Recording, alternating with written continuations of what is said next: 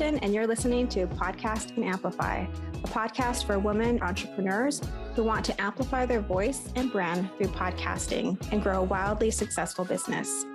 I'm the executive producer and host of two shows and an entrepreneur, and I love helping women grow their visibility, mindset, and business to the next level. Each week, I share tips on how to launch and leverage your podcast and I'm bringing on the very best business leaders to give you advice on how to build your business empire. Let's amplify your voice and business.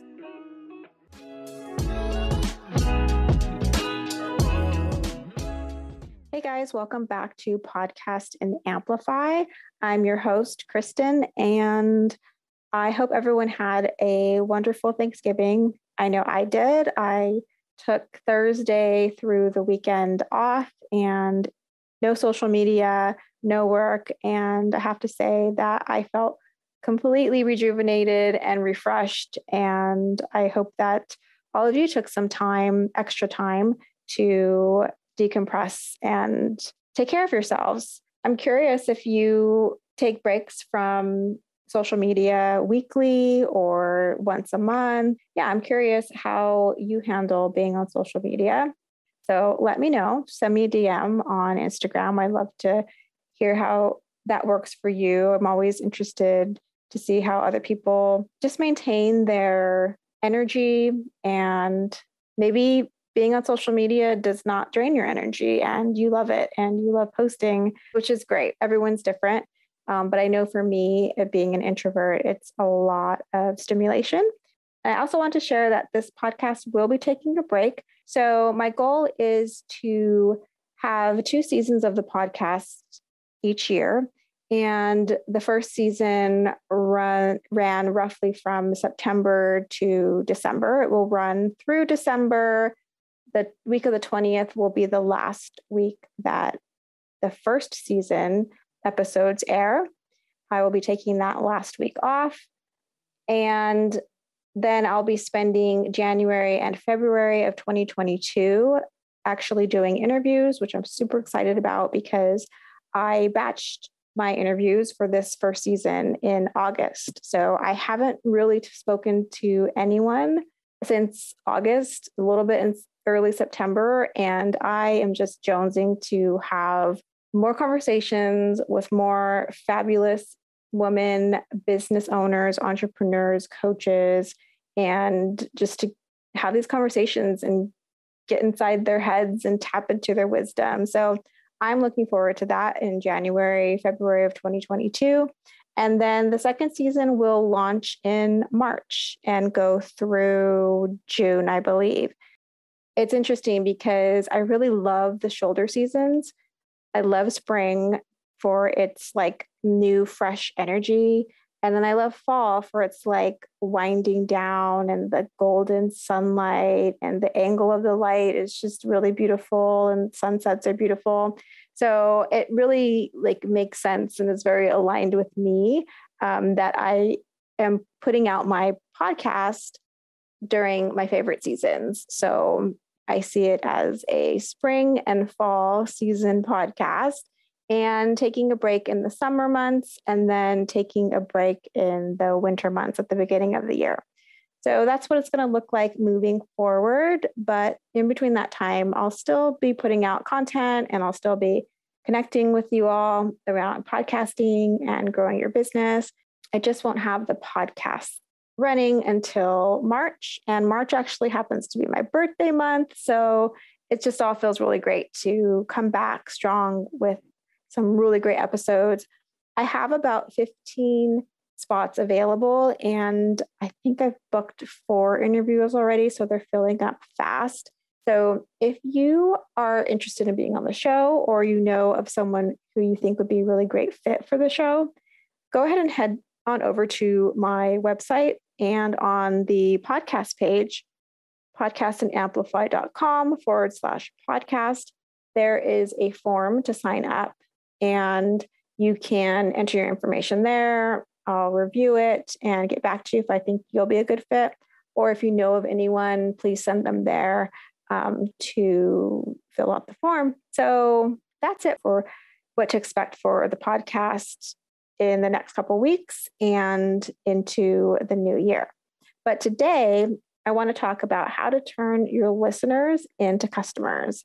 Now, this is a question that I get from a lot of people because I work with entrepreneurs and they really want to know how is the podcast going to help me grow my business? How am I going to make more money essentially?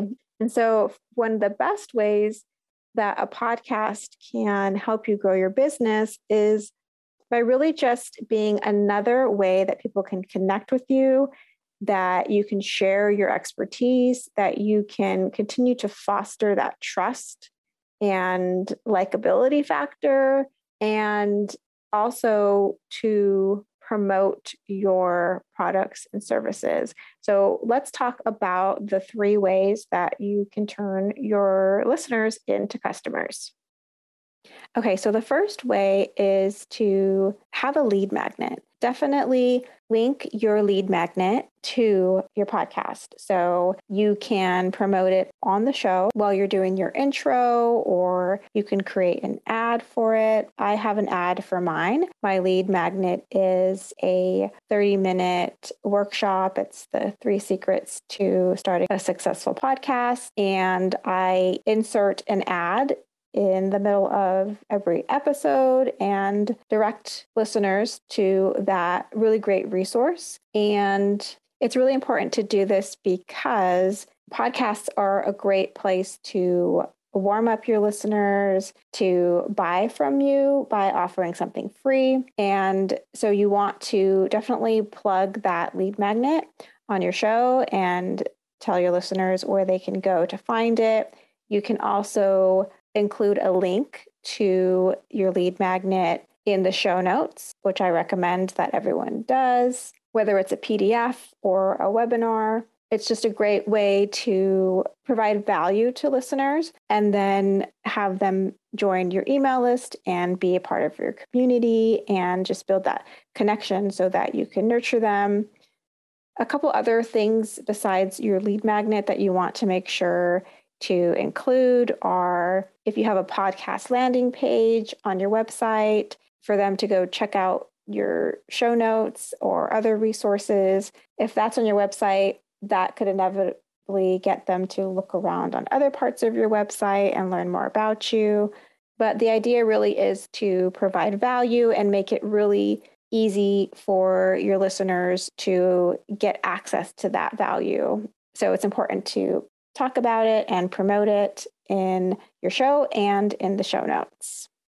Okay, so the second way to turn your listeners into customers is by advertising your service or your products. So before we talked about a freebie that you have, but this is actually promoting your services that are paid. So your podcast is like airtime, right? And so you should really be using it as an opportunity to advertise during the airtime that you have. So you can create an ad specifically for your course or your VIP day or whatever it is that you are selling. And for ads, you actually have three opportunities within your show to insert your ad. You have the option of inserting an ad right at the beginning of your show, the middle, or the end. Typically, you wouldn't do this in all three places. So, the best conversions happen when the ad is actually in the middle of the episode because most people won't skip past it, they'll just listen to it. And that's why I recommend creating an ad that is 30 seconds or less. Now, that might not sound like a lot of time, but it actually is a, I find, a perfect amount of time. It forces you to get all the pertinent details in there and send them to the link, which is the most important part of where they can find out more about your services. And it's not too long. So people will actually listen to it for 30 seconds without skipping over it. Hey, explorers, we'll get back to the show in just a moment, but I wanted to take just a few seconds to invite you to the free workshop that I created. It's called The Three Secrets to Starting Your Successful Podcast. Now, it's all about helping you to start your dream podcast so that you can share your voice and expand your business. If you want to join, just go to podcastandamplify.com. It's totally free. All right, friend, back to the show. So that's how long my ads are. They're short, they're sweet, but they really get the point across. And then people can go back to listening to the episode. So I also recommend that you have at most two ads within one 45 minute or longer episode. For this podcast, typically the episodes are around 20, 25 minutes. So, what feels comfortable to me is to have one ad in the middle. I would say that you would kind of need it to be around 40, 45 minutes, an hour to do, say, an ad in the middle and then an ad at the end, or an ad in the middle and an ad at the beginning. But I wouldn't do an ad at the beginning, middle, and end. For me, three just seems really spammy uh, within one episode. So just play with it and figure out like what feels good to you. But they're definitely a great way to promote your paid products or services. And it's, it's especially great because they these ads can feel really organic. Like it's just you talking to your audience and sharing this service that you provide and the value that it will bring or the transformation that it will help your clients with. And they've already been listening to your voice and you speaking. So it just feels very natural to listen to you talk about what you do and what you sell. So that is another way to turn your listeners into customers. Okay, and so the last one that we're going to talk about here is including a call to action. So you always want to include a really strong call to action. So something like asking your listeners to follow you on Instagram or to join your Facebook group or to join your email list. It's important to remember that the more touch points people have with you, the better.